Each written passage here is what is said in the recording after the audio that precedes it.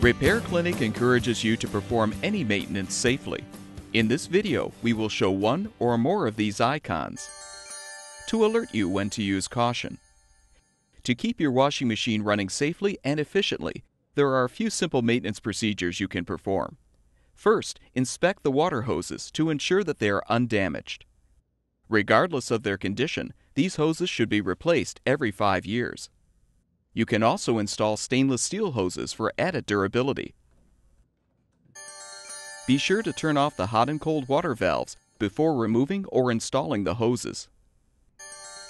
Another important procedure is to level the washer's legs. Most washing machines use adjustable legs with locking nuts.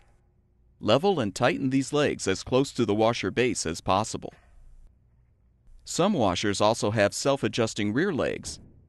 Once you've leveled the front legs, tip the washer forward and back down to set the rear legs. Use a level to ensure that your washer is stable. Consider using self-cleaning washer tablets during an empty wash cycle to keep the tub free of lint, residue, and mold.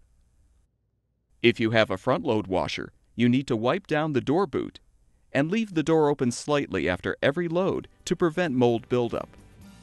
Follow these simple guidelines and your washing machine should be running great for years to come.